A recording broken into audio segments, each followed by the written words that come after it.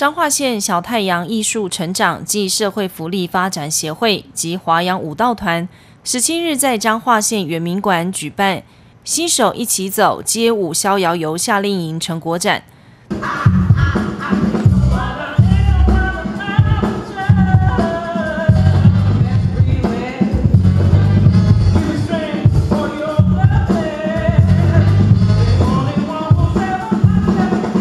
透过活泼动感的街舞活动，让更多小朋友一起动起来，激发小朋友的舞蹈细胞，并借由这次街舞逍遥游活动，让小朋友度过一个有趣的假期。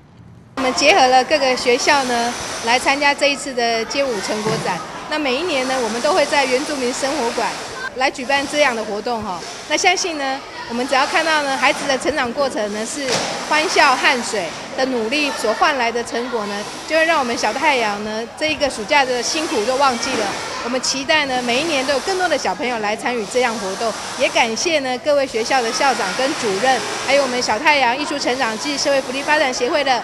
理监事们、理事们，长期的支持我们来办这项活动。相信呢，有各位呃。各界的支持呢，我们小太阳一定会越做越好，也期待呢明年这个时间呢，然后大家能够一起来为我们为这群小朋友掌声，谢谢你们。希望您能够利用艺术哦，这次是利用街舞呢，让小朋友能够从街舞当中找到自己的自信。所以我们连续四年哦，特别有小朋友在暑假期间举办了呃热舞夏令营的活动。呃，身旁呢，哦，就是我们优秀的学生哈，呃，他们目前哈都是国中哈以及毕业学生，他们这次也特别回来当志工，呃，他们这次呢表示说非常高兴哦，能够用他们所学，让小朋友呃对于艺术有更多的认识哦，撒呃撒呃撒下每一颗艺术的种子。我这次负责是华南跟乔爱两间国小，然后我觉得这两件小朋友让我都很开心，因为他们其实都很很善良，然后对见到我都很活泼，然后都很期待上到这个舞蹈课，所以我觉得有这个机会，他们其实都很珍惜。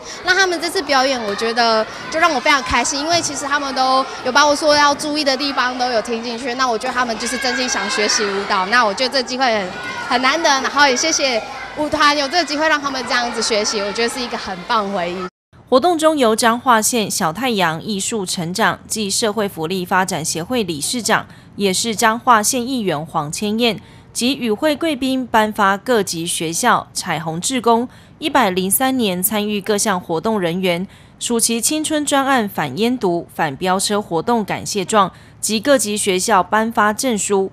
会中学童们也展现街舞舞蹈学习成果。获得现场热烈掌声，也让小小舞者用艺术开发他们的心灵，增加自信心。公益频道林俊明彰化采访报道。